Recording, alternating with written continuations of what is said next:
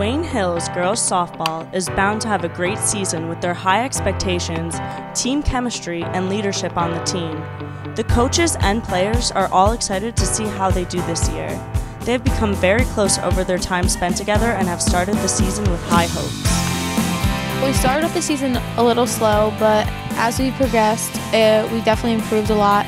And we just had our first county game win against Kennedy the other day, so that was a good start to the county. Going into my senior year, I was a little nervous with the new coaching staff. We work hard and they taught us a lot and we they help us improve on everything, but they're still here to make it fun. And that's what I like about having them three as our new coaches. Coming into the season with the new coaching staff, I was a little bit nervous because I didn't know what to expect. And obviously you always have to prove yourself to a coach every year, especially one that doesn't know you. But I think that this season, like the coaches really made it something special, especially for me as a senior. And you know, they came in with really positive attitudes, which I think kind of rubbed off on everyone else and enabled us to be more positive thinkers and not get down on ourselves as much. And it just really helps have all three of them there as a unit because you have the mom, and then you have the one that picks everyone up, and then you have the head coach. So it really does lift us all up.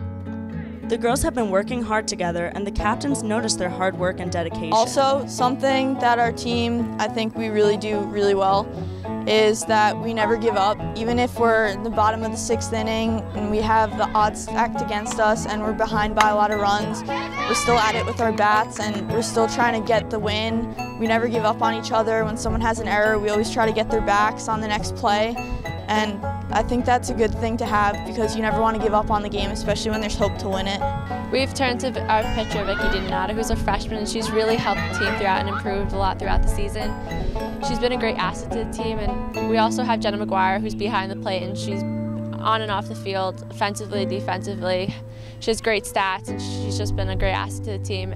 Uh, the other day we played West Milford and it was a tough loss, but right after that we played Kennedy and we came back for with a nice win, 15-0 for our county game.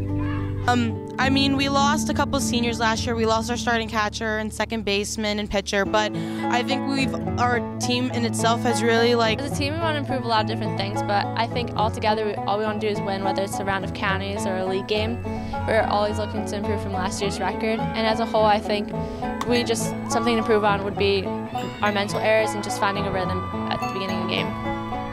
I think the biggest leader on this team this year would be one of our captains, Ryan Ty, because, you know, as center fielder, like she kind of controls most of the field. And if you're up or you're down, like she's always there to pick us up. Like if I just have a bad at bat or I just make a big mistake, like she'll come over and just say, like, you got this, don't worry about it. And it just really helps because she has a lot of experience in the game. She gets along really well. Like we all have our own inside jokes and you know, the chemistry between us is really good on and off the field, so it really helps that like I'm playing with my friends rather than random strangers. Being on this softball team for four years now, this has probably been one of my favorite years because we have it's such a fun environment. Today we have a Halloween party because it's halfway to Halloween and it's just a lot of fun. Like we might make mistakes out there, but we don't get down on ourselves. We always there to pick each other up and make a joke out of it if it's something they do that is silly and stupid. This year has definitely been a lot of fun. We have a great group of girls who get along really well and we're always having fun with each other, whether it's in practice or while we're in the locker room waiting to get the bus for a game. One of the best things we've done so far is definitely when we had movie night at a teammate's house. We all just went after a long day when we had a game and we were able to just relax and take a step back from the game, just goof off and have fun with each other. And I think that's a really good thing to do to build team confidence and just bond with each other. We all get along very well, both on and off the softball field. We're more like a family than a team. Like last night we had our pasta dinner and the people that worked at the restaurant came in and told us we had to be quiet and calm down or else we are gonna have to leave. I think it's really important that the team maintains the positive attitude that we have because that's so important.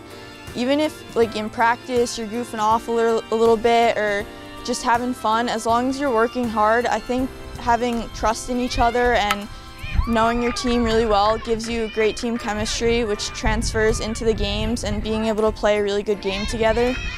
And I think that's just something that's really important to us and something that we do really well as a team. And we kind of just mold it as our own, and it just works out really well. And sad to see the seniors go next year, but I feel like we're gonna really fit the mold again and just work as a team and a unit. I hope we keep the same chemistry next year, even with the seniors like going. I hope we still all have that chemistry between all the players. With the high spirits of Wayne Hills softball, we can see how successful they will be this season. The seniors are upset to be leaving, but see lots of potential for the upcoming years for Wayne Hills softball.